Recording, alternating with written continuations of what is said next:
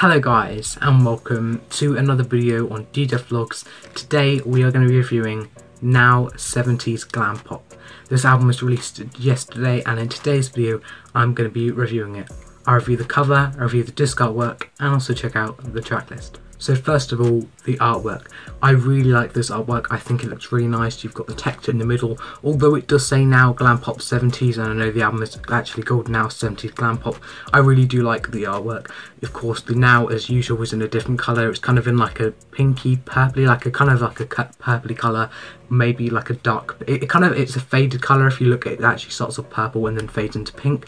You've got stars around the text which i think looks really nice and the background is kind of like a bluish color. Um, I, do, I quite like it. The stars and that are all very 70s themed and i think it does look really nice. They've been doing this with their last album and they're of course doing this with this album is where they include a few of the artists that feature on the album but in a little description bit on the bottom of the cover. It says pop perfection from the sensational 70s and also has a few of the artists that feature on the album album I do quite like they do that. They don't often do that with any now albums but I'm glad that they're doing that and I think it looks really nice. Now let's move on to the CD artwork. Like what they did with their previous album, they are only doing 4 discs and 80 songs, so I'll go through the CD artwork now.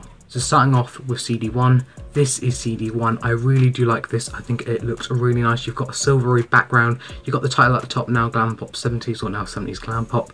And you have stars on the disc, which I think looks really nice.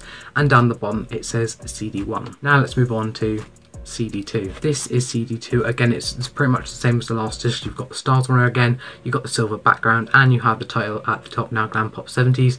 And of course, it says CD2 down the bottom. And now let's move on to CD3. This is CD3, again it's similar to, the other two discs, you've still got the stars as silver background and the title at the top, now Glam Pop 70s, and it says CD3 down the bottom. Now let's move on to CD4. This is CD4. I really like the artwork. Again, it's the same as the other discs. You've still got the stars and silver background and now Glam Pop 70s at the top and down the bottom it says CD4. I do quite like the artwork. It's just a shame that all the discs are the same. The stars don't even move. They're in the same place and you've got the same colour background. I do still like the disc artwork though. It would have just been a little bit nice if they maybe changed something so even just move the stars around or change the background colour on each disc. But I still do quite like the album artwork. Now let's move on to the track list. Now the full CD tracklist is on full on the back. You have disc 1, disc 2, disc 3 and disc 4. But when you actually open up the album and you have a look inside, now this is where disc 1 would be. You have the tracklist on there and then you open it up and you can see the, the tracklist for CD 2 and so on.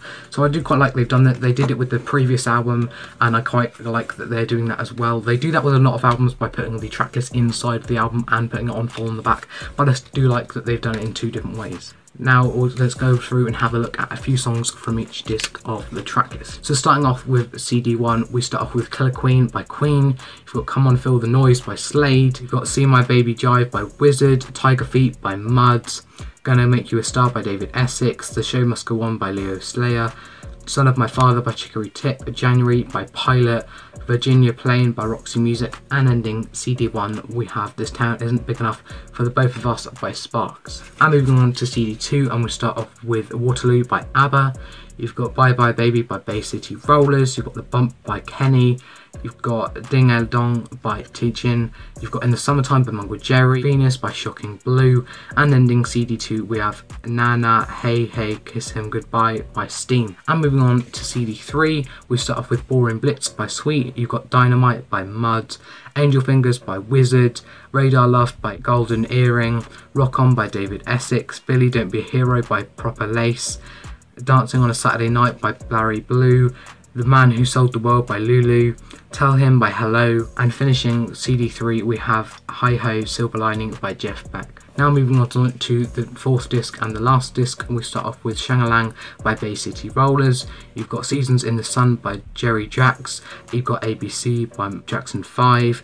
Sad Sweet Dreamer by Sweet Sensation, There's a Whole Lot of Loving by Guys and Dolls, Honey Honey by ABBA, Tie a Yellow Ribbon Round the Old Oak Tree by Dawn, Chirpy Chirp Cheep Cheep by Middle of the Road, and ending disc 4 and ending the album, we, we end with Guilty by The Pearls. So that is a few songs from the tracklist. I do quite like the tracklist, there's a lot of popular glam pop 70s songs on the album as you'd expect.